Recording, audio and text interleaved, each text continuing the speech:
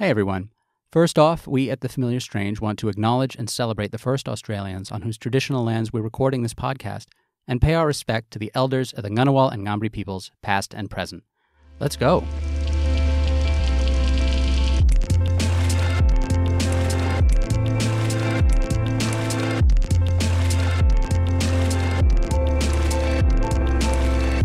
Hello and welcome to The Familiar Strange. I am Ian Pollock, your familiar stranger today.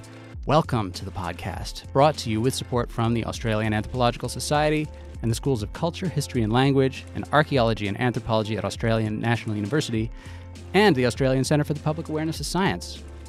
Now, if I sound a little bit tired, uh, it's because I am really tired. We've uh, just had a baby in my house last couple of weeks. In fact, we launched this podcast when our baby was three weeks old.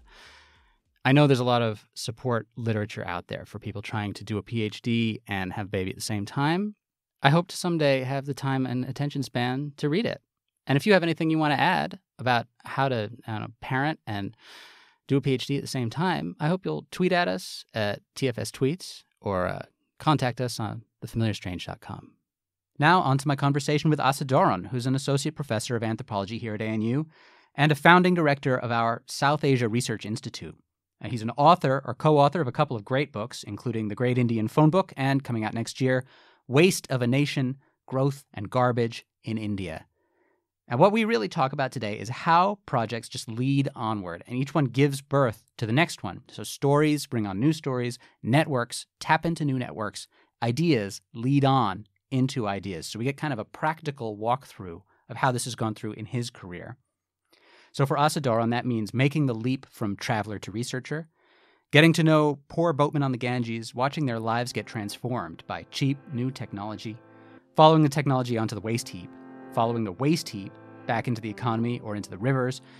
Now, in this conversation, we look at giant infrastructures, telecoms, sewers, and at little things like shit. We talk a lot about shit, I'll be honest. So that's it. Hope you enjoy my conversation with Assa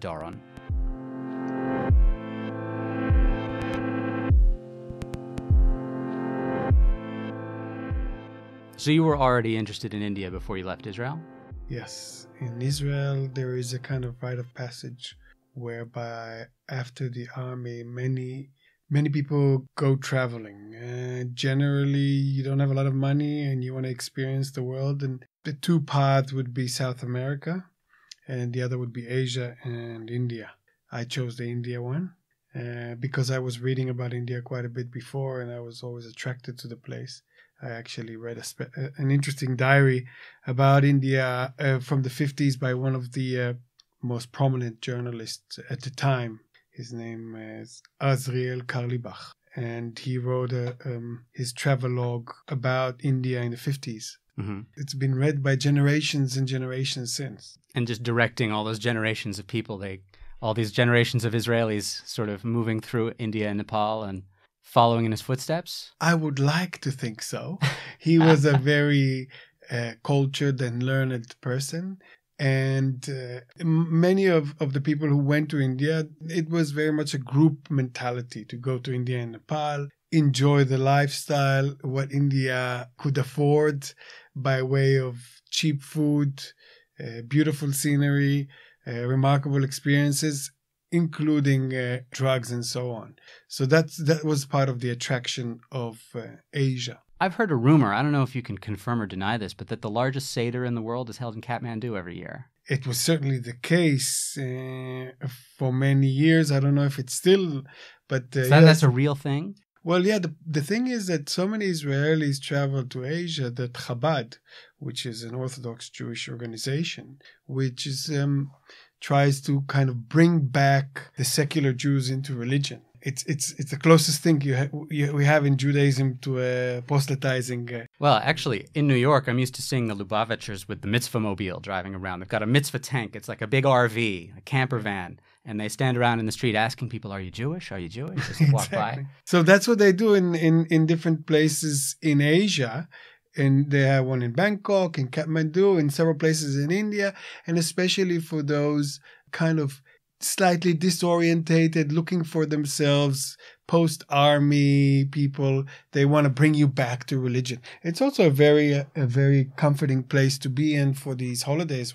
So yes, there is a big uh, seder, and um, it's also I I think I attended maybe I did attend I can't remember now it was so long back but it's a very sterile food you know? Yeah. Uh, unlike the Indian food so people people go to these places sometimes to recover and and have some bland food so what's the what's the bland food? What do they have to, to schnitzels and uh, and mashed potatoes? Oh, so like real Ashkenazi food. Exactly. It must not be easy to find gefilte fish in India. I hope no. somebody's finding a way. No, but they might. if anything, if Bring anyone it can, it's Chabad. they certainly can. Yeah. So it, it, there is something nice about it. There's something uh, nice about people uh, coming together. But there is also something quite distressing about the kind of mob mentality that Israelis used to have in the past, at least. Uh, I don't know how true it is now. Uh, when they traveled across India, and sometimes it was a very, very unpleasant to see because they could behave in ways that were quite bullish. So really, well, yeah, absolutely. And some restaurants in India at the time would bar Israelis from coming in or hotels because the, you come out of the army, you feel quite empowered, quite dominant. You've had some power over another population like the Palestinians. And uh, you you kind of reproduce this colonial mentality in India, and this this idea that you have you're you're somehow more privileged and more superior to the locals and there were there was a concerted effort by various organizations, but even by the Israeli state, to try and tell these young ones after the army to um, to hold back and to uh, behave in more amicable ways because uh, it gave Israelis a bad name. Full stop uh, in India. Things now, I suspect, have changed because India constantly changes. Uh, in many in many places, are no longer colonized by Israelis. Now, for example, in Goa, there's uh, what used to be called the Italian beach, and then Tel Aviv beach is now called is now uh, uh called the Russian beaches or the Moscow beach. So the Russians are coming in in droves to many of of these coastal areas like uh, South India and Kerala, Varkala, or Goa. Um, I found this in Bali too when I was living in Bali. You know, in the, in the last ten years, but there was a moment when suddenly the Russians started showing up and all my Balinese friends, all the guides and things, they wanted to start learning Russian. Who can teach us Russian? Yeah, in Goa at least, and many, many Russians. So, where's the bulk of your field work done? Was it in Goa? No, no, actually. I mean, as I said, I was a traveler. I traveled quite extensively uh, across India, and I even had a stint for several years as um, as a tour guide in India. So I, oh, I managed really? to go to different places. Where were you based for that? Well, I was based in Israel, and then I was based in Australia, and it kind of got me through university. It was a good income, and it was a great way to to visit uh, the five star destinations mm. uh, in India and to learn a little bit more about a, a kind of tourism that I was uh, unfamiliar with as a traveler. So, were you already considering yourself an anthropologist at that point when you started guiding? Uh, no, not exactly. I was doing. I started when I was doing my BA, I did that for several years, even when I started doing my PhD. So yeah, there was a, there was a period when where I was kind of reflecting on it much more as as an anthropologist. But because I had friends who were doing anthropology, it was always in the back of my mind this, uh, these ideas.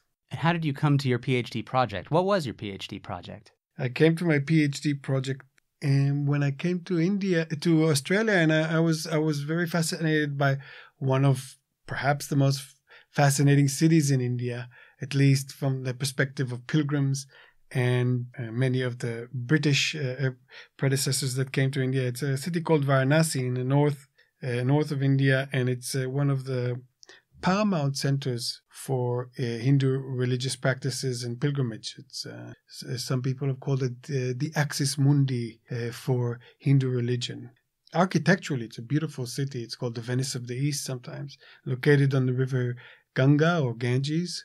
I was fascinated by the kind of uh, interactions that happen on the river, especially on, on that river front. And that's what I did my work on. I, I worked on, on the boat people who are at that junction between so called tradition and modernity and how they translate the city to pilgrims, millions of pilgrims visiting that sacred space, to tourists. Thousands and thousands of tourists go through that city. It's also called the City of Death because there's people who are burnt on the riverfront.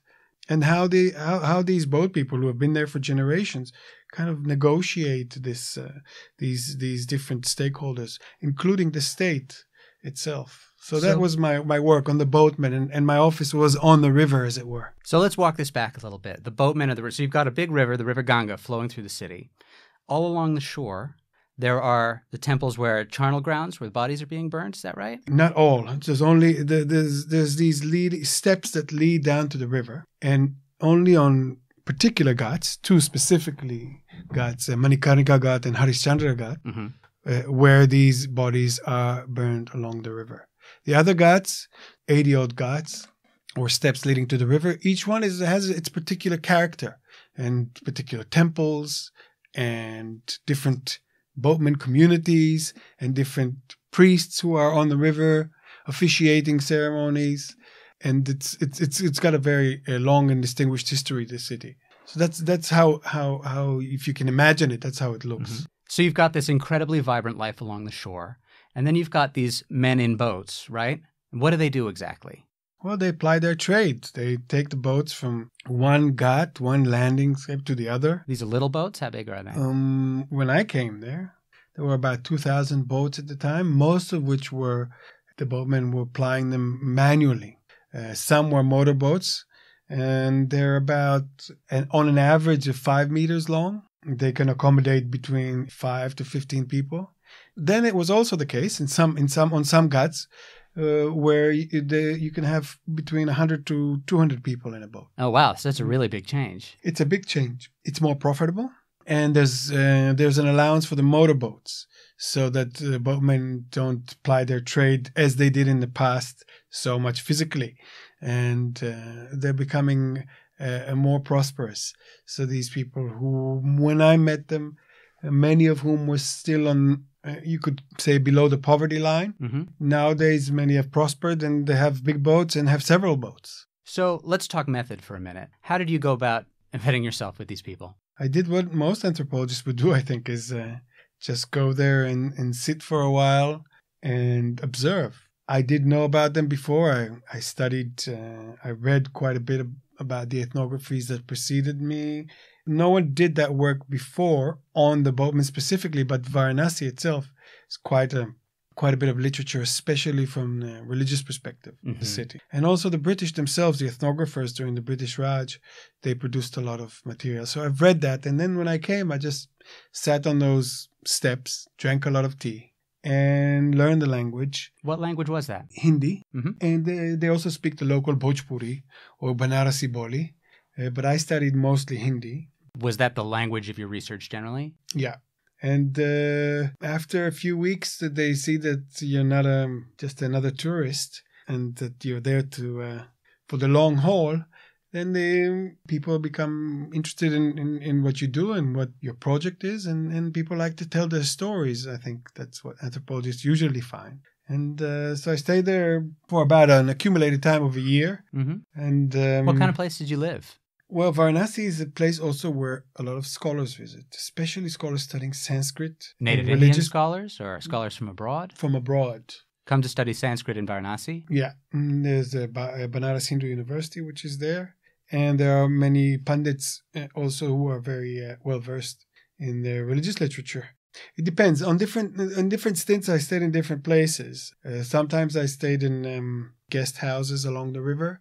But the majority of time, I, I stayed in a in a kind of guest house that accommodated different scholars from around the world who studied some they were, they were japanese they were austrians americans and it was fascinating because each of them were was studying a different uh, aspect of the city. It was great fun. It was also challenging uh, because each person has his own or her own ambitions and their own wants and it was challenging because of the infrastructure. I mean, uh, a lot of power cuts, uh, water issues, and and so on. It wasn't uh, by any stretch of imagination a fancy place, but it was very comfortable. And uh, um, unfortunately, it has shut down since. I think it was a it ran for for many years before I came there. So your work at Varanasi turned into a book, and uh, what was your next project after that? Well, when I came back to Varanasi, after uh, I finished my dissertation and published the book, I realized that many of these people, these boatmen whom I lived with and knew for a long time, were sporting this mobile phone. It became a hit in India, and that that was really my next uh, project because it was just remarkable to see how people who are semi-literate, some of them even illiterate, were so uh, versed in everything mobile well, how quickly did this happen? Like just in the space of a year, a couple of years? A couple of years, yeah. And it took off unbelievably. I mean, in, in the span of 10 years, India became one of the leading places mobile phones. It's now it has over a billion mobile phones. Over a billion mobile phones. Oh, and man. this is the project that we wrote about me and my co-author Robin Jeffrey, the, the, the, the second book, The Great Indian Mobile Phone, where we tried to trace the impact, the social impact and economic and political impact of those mobile phones on the population. But I always gravitated back to Varanasi because it was where I had my network, where I spent most time, and learning about people who are generally marginalized populations and how they interact with this new technology was was really fascinating. I mean, you've just said a whole mouthful. There's so many different things to cover there. How do you even begin? Well, you'll have to read the book for that, but I can just give you a teaser that uh, what I found most fascinating was uh, amongst the people that I work with, how they're introduced to a whole new understanding of, of, of, of consumption, of, of, global consumerism, where you have a mobile phone, which at the time were the branded ones, the, the, the most well-known ones were were Nokia, Samsung, Sony. Those Nokia ones were great. I had one for years. It I dropped it into like irrigation channels and it washed away, and I found it and it still worked. Well, mine didn't, and that's what led me to. no. Uh, that's what led me to examine this whole repair economy in India, where people with limited purchasing power can't really go to these care centers that you have to adhere to certain protocols of warranty and guarantee, and you can't just tweak your mobile and work with it. Oh, okay, so, so, so buying buying that phone, you're actually stepping into a whole regime, right? Of warranty. What did you call it? Warranties and guarantees. Yes, and and, and, and a lot of fine print, right? But not everybody has access to that. Exactly, and, and contracts and so forth. Yes. So uh, when your mobile breaks, you can't just go and do what we do in the in the so-called West is, is just throwaway society. We upgrade it, we buy something new, and we put the mobile in the uh, in the drawer. They have there's all these people who, who work on the streets and they tweak and massage and groom your mobile and and take uh, different parts and put it in in order to extend the life of those mobile phones which I found quite fascinating. It's a real, it's a whole reclassification of, of waste, isn't it? All these things that would otherwise be thrown away, but there are some people who can still see it as a resource. Exactly, and and that's in a way that's what led led us to our new project on waste, because we found um, that electronic waste was just burgeoning in India, and suddenly all these mobile phones. After they've been used, they were even there. They even had afterlives so let's walk through the life of the life of one of these cheap mobile phones, right? How does it begin? Well, first of all, it depends which mobile you bought. Uh, at the times, there were also what you were called were, were called the China mobiles, that were imitation phones that did feature old uh, what the branded phone did, but for much uh, uh, cheaper prices, but didn't have the kind of robustness that that you would have liked from a regular one. Then you bought the mobile phone, and if it broke, you went to someone on the street who extended its life for however long and upgraded even the. So they just be like stalls on the street, like a guy on a stool, or what kind of? Yeah, yeah, a guy on a stool or a hole in the wall, and you go there, and I did too, and they would upgrade your uh, software system, and they would put songs for you. You'd give them your uh, memory card They'll put it in different in different folders. You'll have songs, Bollywood songs, screensavers of uh, worldwide wrestling, screensavers of gods and goddesses. Another one would have pornography in it. They'll all be neatly, uh, and you'd buy it for maybe 30 to 50 rupees per gigabyte. And then you could transfer it via Bluetooth or otherwise. So we're talking about poor people, like the like still the riverboatmen. Or? Yeah, yeah, yeah, riverboatmen and others. Yeah. In a lot of cases, is this the first time they've owned any media of their own? Absolutely. And it's also the first time that they had their own. So it's not like they had a cassette player before this. It's not like they had a CD player before this, is it? No, it's rare. I mean, uh, there there was very much a cassette culture, and especially in North India, and it's been written about. But the kind of proliferation, the widespread availability of mobile phones, and what comes with it, all the media that comes with it, the songs, the uh, the ability to for bilateral communication between people which was supervised previously. First, think about women, especially young women, for example, who suddenly have the ability to communicate with other people and males, especially without the supervision of their parents. So, what kind of impacts did that have? Again, that's something that we wrote about. It had quite a, quite a remarkable impact. And in some cases, in extreme cases in India, uh, village councils banned women from having mobile phones. Wow. Because of the kind of risks and the threat that it posed to structures of authority. That would take, like, you really need some serious surveillance to enforce a thing like that, right? You do, but it's not. When you go back to the rural areas, it's not so difficult to uh, to survey, especially when people still lived in joint families, and privacy itself has been changing as a result of the introduction of this technology. Privacy itself has been changing? Well, the idea of privacy. So suddenly you have a mobile phone where you have to, um, where it's, it's a, your own private property that you keep with yourself, that you, you put a password on that you're able, you want to communicate with people without the knowledge of others. So people had different mobiles for different purposes, or two SIMs, three SIMs. Before these phones, were there any personal possessions that people had with them all the time like that? I don't think so. I think but I think the same thing very much holds for us perhaps the the watch was a personal possession, but uh, I, I think there wasn't any any technology or anything that was so disturbing to the social uh, economy and the social structures like the mobile phone. And this this is a threat. I mean, I I, I interviewed. I remember uh, upper caste women. Uh, especially whom when they when they uh, married into a new family and had to move into it they were asked to uh, leave their mobile phones behind. They were asked to leave their phones behind. Yeah. They wouldn't be allowed to bring a phone into the new family? No. It took several years until they established their authority or their status within the family for them to be able to uh, have their own private mobile phone again.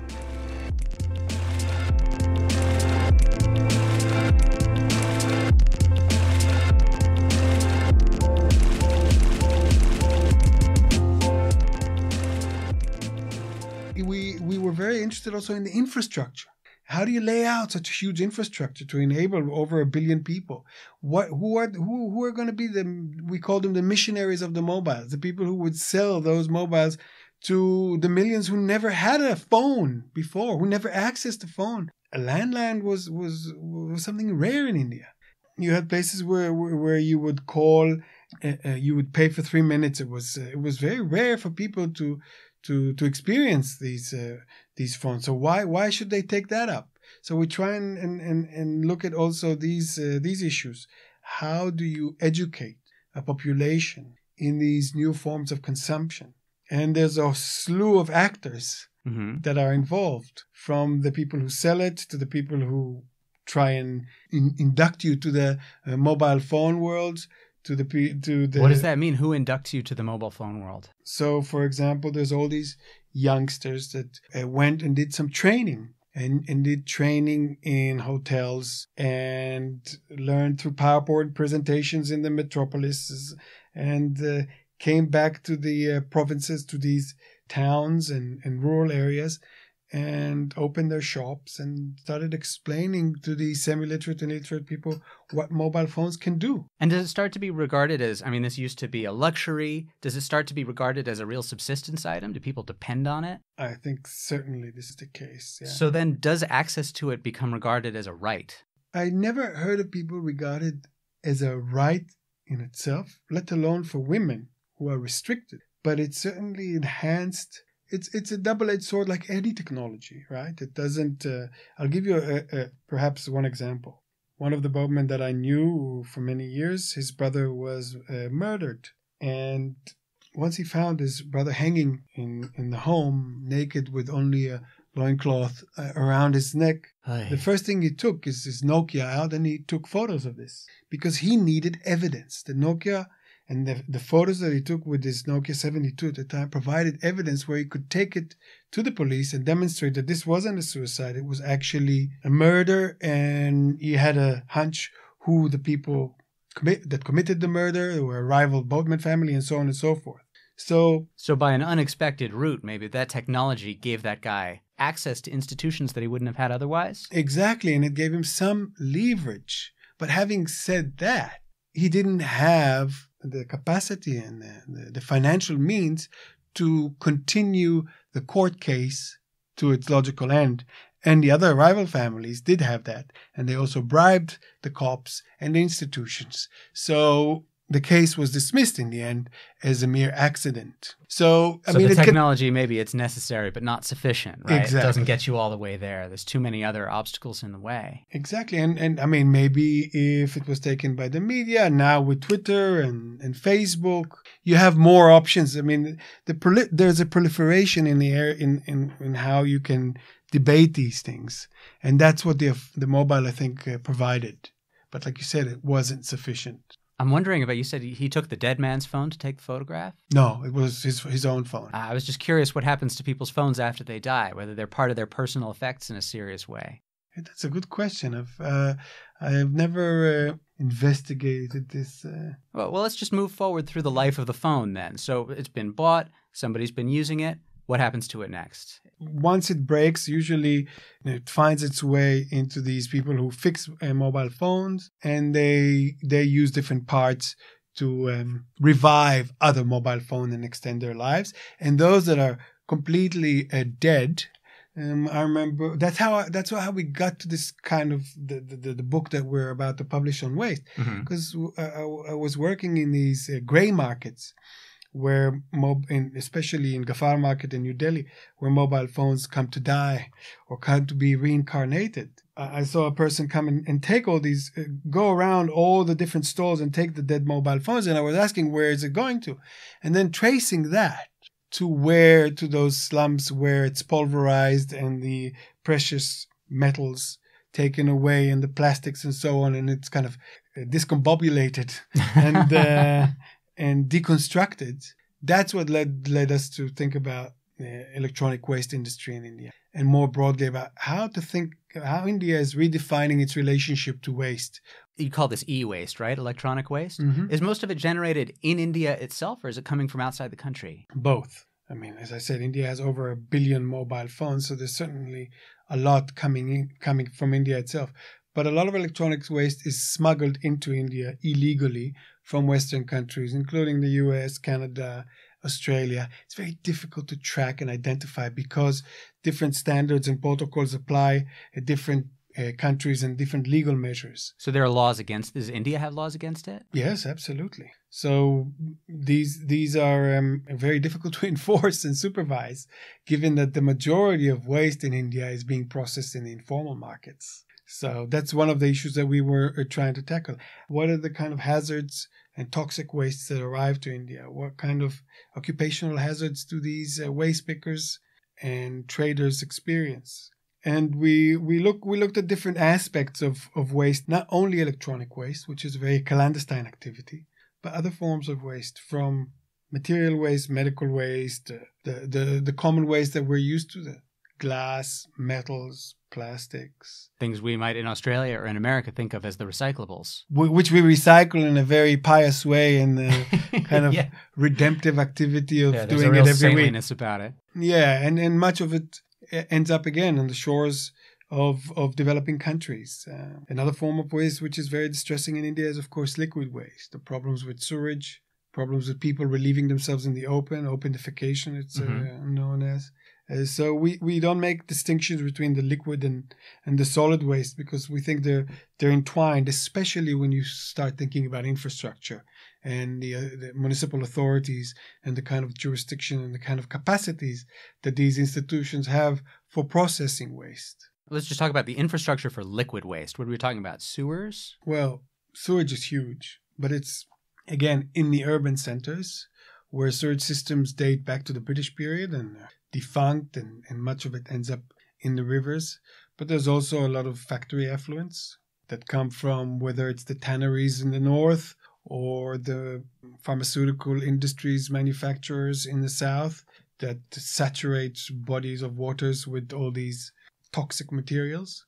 And um, just a lot of uh, dumping in these bodies of water so yeah, it's it's a very big problem. The Ganges River, as as, as many people know, the Sacred River is highly polluted, and the Indian government has been trying to somehow uh, deal with these with these uh, types of pollutions for over thirty years now. When you're with the boatmen on the Varanasi, how do they talk about the quality of the water in the river? They're very much aware that the river is polluted. Again, here you come into that uh, blurry zone about a river that's considered ritually pure, but it is in terms of the kind of everyday life of the river, it's very polluted. And so it's both pure and polluted at the same time. It is indeed, and and they they have terms to speak about these different types of pollution. But the pilgrims themselves would come and bathe in the river, even though they do know that it is polluted. But the ritual pur- purifications that one who arrives to the city of Varanasi or who bathes in the river are very powerful. But many of the boatmen now would resist bathing on daily basis in the river because they see the pollution. It's visible. The stench is there. What did, what do you say? It's visible. What do they see? Oh, the, the water is murky. A lot of times you see dead bodies and dead carcasses. The boatmen who know the river very well also know where the effluents come out of the city. The broken sewage lines that just flush all the sewage into the water. So they're very well aware of this. So sewage, if we're talking about human waste, right? Yeah. That's something that uh, that you've shown an interest in in some of your writing, isn't it? Yeah. Well, we wrote we wrote this uh, this piece, uh, uh me and another colleague, Ira Raja, on the cultural politics of shit, and we tried to understand the cultural politics of shit. Yes, and we tried to understand what's involved in the problem of open defecation, where in India it's uh, that's over half a billion people still relieving themselves in the open. That's what open defecation means, just not into a toilet, just out yeah, out in the world. Yeah, exactly. and it's all fine if um, you do it in certain climatic conditions and it dries up and you're you're not in a very populated area, but um, it has a lot of dangers and prejudices associated with it. So um, that's what we try to um, to trace in that article, and especially looking at the gender dimension, where many women are uh, forced to, to defecate in the open, and this this uh, renders them vulnerable to police harassment, to sexual harassment, and the kind of issues that they speak about when they go out to relieve themselves. It's a very uh, complex issue, but I think uh, something that um, in the book that Robin Jeffrey and I are, are about to publish, we try and put our finger on some of the main issues to do with trying to encourage people to uh, build toilets that are um, uh, suitable for the environment and the cultural and social issues that are involved. So, coming back to method for a minute, is this something you have trouble getting people to talk about? In India, it's not a big. Uh, I don't. I, I never encountered uh, uh, resistance to talking about this. You okay. know, it starts even when we, if we come back full circle to when you're a traveler. Uh, the, I think the majority of travelers in India when they uh, meet each other, they discuss the bodily fluids that come out of their uh, so they, just, they, talk about what they ate and what made them sick and why they're recovering now with some gefilte fish. Uh, well, not only that, it gives you some road status. Uh, how, how how many times have you been sick in India, and uh, how does it look? That and, seems backwards. I think you'd have the status if you hadn't been sick at all. It'd show you have this, the iron stomach. Right. Yeah, that's that's another point. But yeah, it's certainly um, something that people are willing to discuss because there's many illnesses and there's, there's a lot of diarrheal diseases. People, many children die, of course, be, be before the age of five. The question of child stunting is something that's a huge concern in India because of open defecation. Now, this is uh, this is something that would afflict both uh, rich and poor. I mean, the flies that go from the feces into the water, into the food, don't look at your uh, bank account, but but it certainly disproportionately more affect the marginalized and the poor. I was going to say, it sounds like this must be mostly a poor people's problem, but interesting that it could be connecting rich and poor through the medium of flies. It is. It is something that we we try and, and talk about. What we call in the book uh, the binding crisis. What are the binding crises that would generate enough political will and drive amongst a population that's polarized around caste, class, gender. So you're just looking for those cross cutting ties that bind all those different groups together across all levels of status? If there are some, and we try and identify a, a few in terms of waste and waste management. And uh, because uh, over the last 30 years, the amount of waste and the nature, I mean, the makeup of waste in India has changed enormously and for a country of 1.2 over 1.2 billion people the how it's going to deal with this magnitude is going to shape its future. When you're writing about india and as somebody I, I write about indonesia it's also a very big country but india is in a class by itself. Do you find that those issues of scale can just kind of overwhelm everything? Is it difficult to focus down on small places and small issues or does it always tend to scale all the way up to the 1.2 billion? I think the the, the wonderful thing about working with a historian and a political scientist is that uh, Robin Jeffrey has that both comparative perspective, but also the understand the historical depth of understanding of scale, both temporally but also spatially. And so, as an anthropologist, I generally take the incursions on the ground, and we combine an aerial view and the ethnographic or ethnographic perspective at least to try and bring together these two dimensions and and and the, and, and try and show the different levels or different scales that are involved in such a huge problem. So that's interesting. Working with a co-author who's not an anthropologist, I feel like it really brings a lot to the project. Oh, it's it's uh, it's a remarkable uh, experience, and that's why we decided to do a second book after the mobile phone book. Mm-hmm. Is it hard working with a co-author? I mean, you must have a good relationship. You're doing another book, so I'm just wondering what what this experience is like. What the positive experience sounds like. Uh, for me, I can only speak of the positives, to be honest. And uh, it's it's it's a it's a learning experience, and it's a ping pong. It's like playing ping pong. You're constantly uh, batting around ideas and thoughts and chapters, mm-hmm. and you're rewriting each other's chapters and and thinking through how you want to present this that would be both appealing and authoritative at the same time. We we're we're especially we we're specifically pitching it as we did with the mobile phone book to the intelligent audience and and, and trying to to refrain from from academic jargon because we believe that these are important issues. And that's a challenge in and of itself but yeah. uh, so are you hoping to have a policy impact out of this book as well? I think i think uh, certainly this one this book is uh, far more will have a far more policy impact i hope in terms of the way it tries to chart the different issues that uh, we see as pertinent to India's redefining or rethinking its relationship to waste. Is there a strategy in place? Are you trying to get this get this information in front of the right people? Uh, I think the right people will read it. I mean, if if to go back go back to the mobile phone book, it did had an impact, and it did had impact both in both uh, uh, policy and uh, media circles and other other academic circles. Okay, so how did how did the mobile phone book have an impact in policy circles? How did it get there? Well, it was it sold many many books, and we had many many people approach us, and uh, from the industry itself as mm-hmm. well. And um, so you made something that was accessible enough. Yes, you got it into the hands of enough people who could understand what you had to say. We did absolutely, and that was that was the boon of that book. I mean, we it was widely uh, and very favorably received in India and and outside of India. So we had the Wall Street Journal, the Economist, and other usually what anthropologists wouldn't wouldn't expect their book to be reviewed in. These we had that audience. It was accessible enough to have a receptive ear in that audience. So we tried to replicate at least that accessibility so I'm writing my thesis right now. I'm a part of a whole cohort of PhD students who are writing our theses right now. We're in a, a writing group. We pass our writing back and forth. Some of it is more accessible than others. It's something we all want, but we're not, none of us are completely sure how to get there. What advice would you have for anthropologists trying to make their writing more accessible?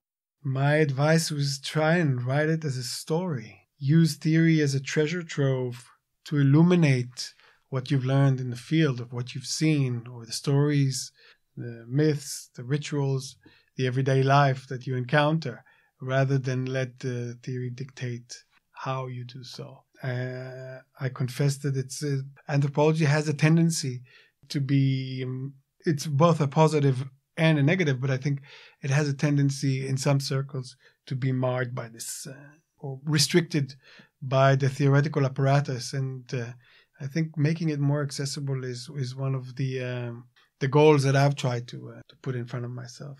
Uh, you've got your next book coming out, which is Waste of a Nation, that's coming out next year, right? Any idea what your next project will be after that? Well, again, things flow from one to another, and and this one, the, the project that um, the current project on waste also highlighted some of the, the critical issues of health, public health, and how sanitation, uh, open defecation create a lot of disease. And in India, there are problems with waste management in the south, especially where factories produce antibiotics and release it to the environment and the soil. Yeah. All of which make for a perfect storm for the antimicrobial resistant drugs. And I think that's something I'd like to uh, investigate further from an anthropological perspective about health seeking behavior, uh, how uh, people view antibiotics and these antimicrobials and what they do about it when uh, they're afflicted by these infections. It's interesting just thinking about that question now. I can see several different anthropological approaches you could take that are not equally useful from a policy sense, right? You could look at it just from the from the public health perspective and how uh, how people live with sickness and how people use medicine and and pollution and things like that, or you could talk about the kind of the forefront of human to non-human relations and the agency of microbes and uh, uh, the the kind of non-human species anthropology. Uh, I could see a lot of a lot of scholars would probably take it in that direction. You don't see that for yourself, do you? I, I am still in the beginning stages of, of working through this. I think like waste, like mobile phones, uh, it, it will in in the end the the ethnography or the uh, the anthropological experiences will dictate where where I, I think I take it. The ethnography is in the stories um, that's that's the things that at least draw me into these these issues. Well, with that, I'd like to thank you for uh, all your stories today, and uh, good luck on the book launch next year and with the next thing. Thanks a lot. Thank you very much.